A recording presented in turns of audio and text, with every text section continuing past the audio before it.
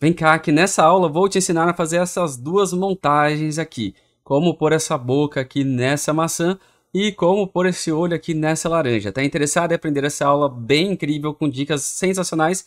Então é só ficar comigo depois da vinheta e assistir principalmente até o final. Então, sem mais enrolação, vamos direto para essa aula que ela tá bem legal.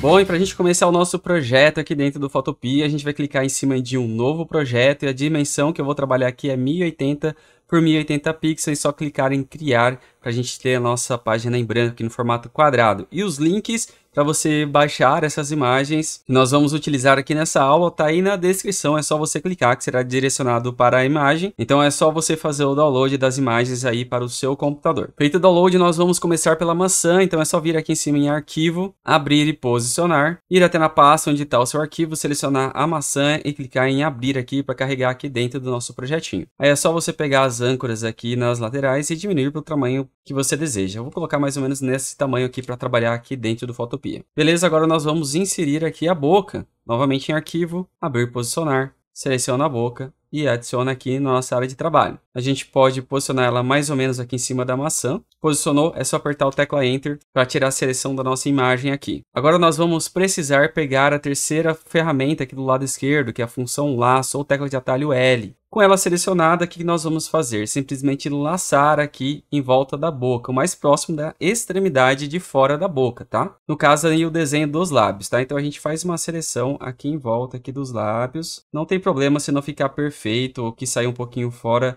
é, do desenho dos lábios, tá? Porque depois nós vamos ainda fazer alguns ajustes para deixar o visual bem mais perfeito. Finalizou, é só soltar, fez a seleção. Depois que está feita a seleção, a gente vai descer aqui no canto inferior direito, nesse item aqui do quadradinho com um círculo no meio, que é a função de adicionar máscara de rasterização. Quando a gente clica aqui, é feito essa máscara aqui com essa nossa imagem. Se a gente achar que de repente a boca ficou muito grande aqui, com a nossa camada selecionada aqui na área de camadas aqui do Photopia, a gente aperta Ctrl Alt T para a gente ajustar a transformação aqui dentro. Eu vou diminuir pouca coisa e posicionar a boca mais ou menos aqui nessa região. Acho que dá para diminuir um pouco mais a boca para não ficar tão grande. Acho que esse tamanho aqui está bacana. Vou só girar um pouquinho ela aqui, ampliar pouca coisa aqui e dar um Enter para finalizar a transformação. Vou dar um zoom com a tecla de atalho Z aqui no teclado para ficar próximo aqui da boca para facilitar o que eu vou fazer a partir de agora. Nós precisamos estar com a máscara selecionada para você verificar que a máscara está selecionada. Aqui do lado direito aqui em camadas, a gente tem a camada aqui da boca, mas note que esse quadradinho preto aqui com o contorno da boca em branco, isso aqui é a máscara. Então aqui eu estou com ela selecionada. Se fosse para selecionar a imagem, eu clicaria em cima da imagem mas eu quero a máscara selecionada, clico em cima da máscara. Feito isso, eu vou usar a tecla de atalho B no teclado, que é de Brush, ou eu posso vir aqui do lado esquerdo, aqui nos menus, e pegar aqui esse pincel aqui. Vou me certificar que as duas cores que estão aqui é o preto e o branco, se não estiverem na cor preta e branca aqui, nesse quadradinho aqui, você clica aqui na cor e você altera, você coloca o primeiro aqui na cor preta e o segundo você deixa aqui na cor branca. É só aceitar. E agora nós vamos estipular alguns ajustes aqui do nosso pincel. Botão direito do mouse, aqui a gente tem tamanho, aqui tem dureza, tá? Deixa a dureza aqui no zero, tá bom?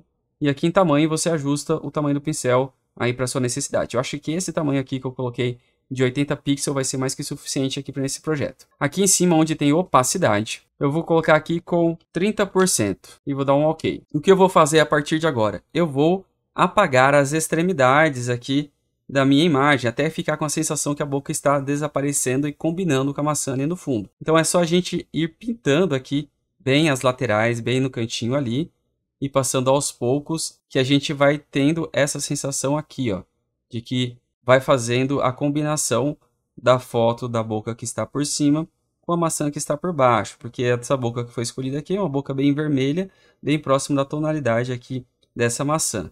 Então a gente vai clicando, puxando ali aos poucos, com paciência, porque trabalho de manipulação, de composição, sempre exige paciência, cuidado, carinho, atenção, para que a gente tenha um bom trabalho no final. Então a gente vai passando aqui para dar essa transparênciazinha aqui das extremidades para chegar no resultado que a gente precisa, tá bom? Então aqui Tô chegando mais ou menos perto do resultado que eu quero, mais ou menos assim. Aqui, perceba que de uma certa maneira o dente quase que desapareceu aqui. Eu acabei invadindo um pouco aqui. Então preciso restaurar essa parte. Com o meu pincel ainda selecionado, eu vou apertar a tecla X, que a gente faz a inversão das cores que está aqui pois a cor branca é o que vai fazer que a gente restaure. Aí eu vou diminuir só um pouquinho o tamanho do pincel aqui, para que eu possa pintar aqui essa área aqui para restaurar essa região aqui da, da boca, que eu preciso um pouco mais de nitidez nessa região aqui. Ficando mais ou menos assim esse resultado. E também aqui desse outro lado também, para trazer mais nitidez aqui do contorno da boca. Se eu aperto o Ctrl 0 para ver o nosso trabalho, ele ficou assim. Então essa aqui é a nossa montagem aqui da boca compondo ali a maçã. Lembre-se que o Photopea ele é muito parecido com o Photoshop, para a gente não perder esse arquivo, porque ele não vai ficar salvo online. A gente vem aqui em cima em arquivo, salvar como PSD, escolhe a pasta onde você quer salvar, dá o nome do seu arquivo e clica em salvar. Então ele vai salvar o arquivo PSD no seu computador. Caso você já queira salvar esse aqui como imagem, é só vir aqui em cima em arquivo, exportar como, aí você escolhe PNG ou JPG, eu sempre aconselho exportar como JPG que gera um arquivo um pouco mais leve. Se fosse ter alguma transparência, você exportaria como PNG. Aqui não precisa fazer nenhum ajuste, é só clicar aqui em salvar. Escolhe novamente a pasta que você quer salvar, dá um nome para o seu arquivo se você quiser, então é só salvar e você vai salvar isso aqui como um JPG. E agora nós vamos para a segunda parte desse vídeo, que é colocar o olho na laranja. Se você estiver gostando desse conteúdo, deixe seu like aí para fortalecer, se inscreve no canal se você não for inscrito ainda, considere se tornar um membro aqui do canal clicando aí no botão seja membro, porque eu vou compartilhar esse arquivo com os membros do canal. Mas se você quer de fato apoiar que eu traga mais conteúdo de técnicas avançadas de composição, montagem utilizando o Photopea ou Canva, cogite enviar um pix para esse QR Code que está aparecendo aqui, pois dessa forma você colabora e contribui para que eu possa trazer esse conteúdo para você, beleza? Então de volta aqui no Photopea para a gente fazer a segunda composição, a gente volta aqui em cima em arquivo, novo, novamente 1080 por 1080, clica em criar. Vamos agora trazer a imagem da laranja e também do olho. Então, arquivo, abrir e posicionar. Vou trazer a laranja aqui para dentro. Vou ampliar ela um pouco mais, vou deixar ela bem centralizada aqui na minha imagem. Acho que nesse tamanho aqui tá ok. Dou Enter. E agora vou trazer também o olho, trazer o olho aqui para dentro também. Vou diminuir ele mais ou menos que ele fique, caiba aqui dentro da minha laranja. Acho que esse tamanho aqui tá ok. E dou Enter. Nessa segunda etapa eu vou ser um pouco mais direto, pois tudo que eu fiz na primeira etapa vai se repetir aqui. Se você ficar perdido com algumas coisas que eu estou fazendo aqui, acompanhe de novo na primeira etapa, tá? Eu apenas vou acrescentar outras duas dicas ao final dessa etapa. Então beleza, estou aqui com o olho selecionado, vou pegar novamente a ferramenta de laço e vou laçar aqui em volta do olho para que de uma certa maneira os cílios eles sobrem aqui também um pouquinho da pálpebra. Não vou pegar aqui a sobrancelha, tá? Só a parte da pálpebra.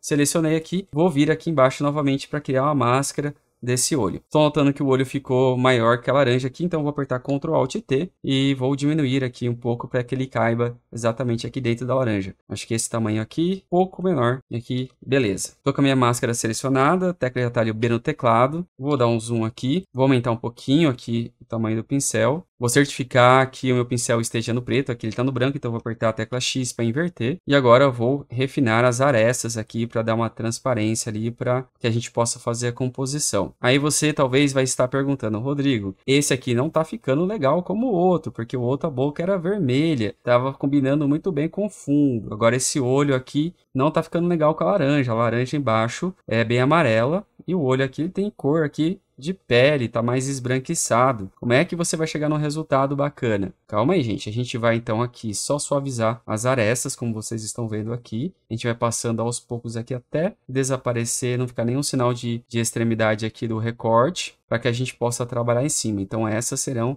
as outras duas dicas que vocês devem ficar comigo aqui para compreender. Então, chegando aqui no final dessa separação, vamos aos ajustes. Primeira coisa, eu já identifico que essa parte aqui de baixo, ela tem bastante luz, ela tem uma iluminação, ela está mais clara que a própria tonalidade da laranja, mesmo que esse aqui fosse amarela, que teria uma tonalidade mais clara que a da laranja. Eu preciso escurecer essa parte de baixo. Então, para isso, eu vou vir aqui embaixo, nesse círculo dividido ao meio, que é a área de filtros aqui do Photopea, e eu vou escolher aqui a função níveis. Então vai abrir aqui as propriedades de níveis. Antes de eu fazer qualquer ajuste aqui de níveis, eu vou vir aqui embaixo onde tem essa setinha aqui, que indica máscara de corte, para que o filtro ou os efeitos só sejam aplicados apenas em cima aqui do olho. Feito isso, o que eu vou fazer? Eu vou dar uma escurecida aqui na minha imagem. Então aqui embaixo eu tenho essa área aqui, esse gradientezinho, onde o lado preto para a direita eu clareio as áreas escuras e o lado branco para a esquerda eu escureço as áreas claras. Então é isso que eu vou fazer. Vou escurecer um pouquinho as áreas, as áreas claras para ficar até próximo ali, mais ou menos, é, de um tom que esteja de acordo ali com o fundo. Eu acho que mais ou menos aqui ele não fica com tanto brilho quanto a laranja ali no fundo. Beleza, só que não vai ficar assim, pois eu escureci o olho todo de uma vez. Então vou clicar aqui em cima da máscara desse filtro que eu acabei de colocar e vou apertar o comando Ctrl I de igreja para fazer uma inversão dessa camada. Vou usar novamente a tecla atalho B no teclado para pegar o pincel, só que nesse caso aqui eu vou fazer a inversão. Em vez de estar com a cor preta, eu preciso que estar com a cor branca. Então aperto X no teclado, porque agora eu vou colorir, ou melhor dizendo, vou pintar essas regiões aqui da parte de baixo do olho aqui que eu quero que fique mais escuras, tá? Então a gente vai fazendo isso com essa parte aqui de baixo para escurecer. Calma que ainda a gente não chegou na parte de colorir esse olho para que ele fique com a tonalidade laranja da laranja de baixo. Então apenas vou escurecer essas partes que estão mais claras aqui embaixo, tá? Não vou entrar nessa partezinha de dentro aqui do olho, só mesmo aqui nessa parte da pele que estava mais, mais clara. Bom, para mim está ok. Agora nós vamos acrescentar um outro filtro aqui para a gente fazer alguns ajustes de tonalidade. Então a gente vai vir novamente aqui no círculo dividido ao meio para pegar um filtro. Nesse caso será a opção cor seletiva. E novamente como nós fizemos com o filtro aqui do níveis, a gente vai clicar na setinha aqui para baixo para que os ajustes aconteçam apenas na camada aqui do olho. Então note que aqui, ó, nesse campo de cores, tem várias configurações, nós vamos escolher a parte neutral. Os tons neutros são as cores que estão ali no meio do caminho entre a parte mais clara e a parte mais escura, que é onde se encaixa essa tonalidade aqui de pele. E nós vamos fazer alguns ajustes aqui, de ajustes de cores, para chegar na tonalidade do laranja que está embaixo. Eu vou tirar um pouco aqui do ciano, para que a minha imagem fique mais avermelhada, não preciso de tanto ciano ali. Vou subir aqui o amarelo, para levar até próximo da tonalidade da laranja que está ali embaixo. Acho que até mais ou menos esse tom aqui tá ok. E se eu quiser, eu posso até subir pouca coisa aqui o magenta, só para dar uma avermelhada nessa parte aqui, para ter um pouco mais de contraste. E aqui o preto, acho que eu vou subir apenas uns 3% aqui para dar uma escurecidinha aqui nos cílios. Aqui no magenta, eu acho que dá para diminuir um pouquinho apenas. Quero que essa pálpebra fique um pouco mais avermelhada. Para mim está quase ok. Mas eu quero que essa parte aqui do olho se mantenha também no verde que estava. E onde está essa bola do olho aqui, eu não quero que fique amarelo, eu quero que fique na tonalidade real. Nós vamos fazer aqui é o seguinte, clicar em cima da camada, tecla de atalho B no teclado para pegar o pincel. Então a camada aqui está branca, então preciso que o pincel esteja preto para eu apagar, para que não fique o efeito apl aplicando em cima da imagem que está de baixo. Então apertar o X no teclado para inverter, para que ficar a tonalidade preta. Aí aqui em cima em opacidade eu vou colocar em 100%, para que fique mais fácil na hora que for apagando. Então eu vou pintando aqui e a cor original vai surgindo nessa área. Então eu vou apagar apenas a região aqui próxima aqui do entorno do olho da parte interna. Posso até lembrar um pouquinho a parte da carnezinha que fica aqui perto da pálpebra para ficar um pouquinho mais avermelhado ou rosado essa região e vou fazendo isso com toda essa área aqui do olho. Assim a gente traz um pouquinho mais de realismo aqui no olho, com as cores originais ali do olho. Então a gente acaba tendo esse resultado aqui bem legal. E se acabar escapando, você aperta X para trocar, aí você restaura aquela parte que de repente você ultrapassou. Aqui nessa região pertinho aqui do cantinho do olho, eu acho que tem imagem de excesso, então eu posso voltar aqui na camada da máscara do olho. Com o meu pincel selecionado, eu vou clicar o X para inverter. Vou mudar a opacidade aqui para 20% e vou apagar essa região aqui da extremidade aqui só para ficar um pouco mais suave. Também dá para pegar um pouquinho aqui no meio onde tem esses cílios aqui para que a imagem tenha uma conexão melhor ali com a laranja, só para não ficar tão marcada essa região, então vou pintando aqui aos poucos para dar uma sumidinha ali na parte dos cílios, tá bom? Então é dessa forma que a gente faz. Então, para mim, considero que está ok. Aperto o Ctrl 0 para ver aqui em tamanho real.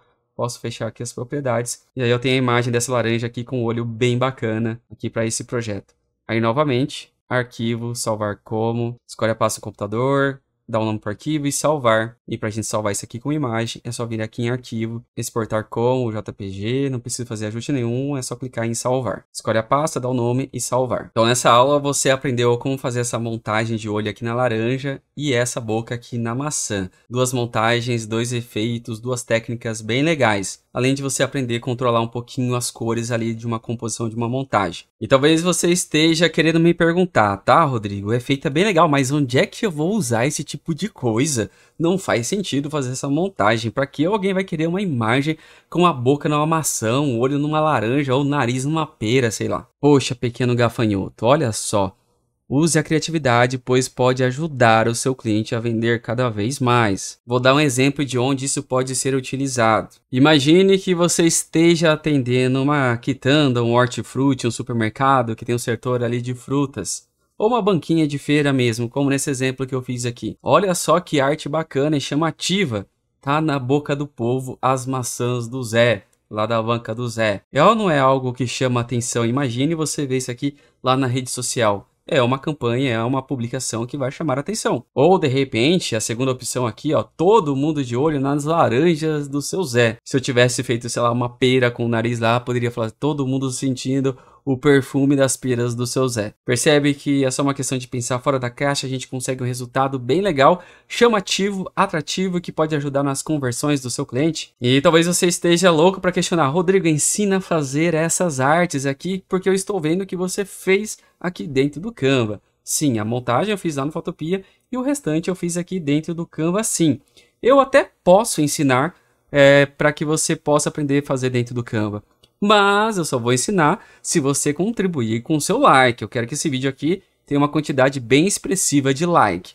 Deixando seu like, você mostra que você está interessado em aprender a fazer essa arte dentro do Canva e eu vou entender, vou compreender e vou trazer essa aula para você. E se essa for a primeira vez que você assiste uma aula de Fotopia e se interessou por essa ferramenta, aqui no canal tem essa playlist aqui que você pode clicar para assistir todas as minhas aulas de Fotopia aqui no canal. Mas se sua dúvida é sobre precificação, quanto cobrar por uma arte, eu tenho uma aula e uma playlist também sensacional que você pode clicar nesse vídeo que está aparecendo aqui embaixo, que você vai aprender uma técnica incrível para nunca mais errar na hora de cobrar aí dos seus clientes. Então é isso, um grande abraço, fica com Deus, a gente se vê no próximo vídeo. Até mais, fui!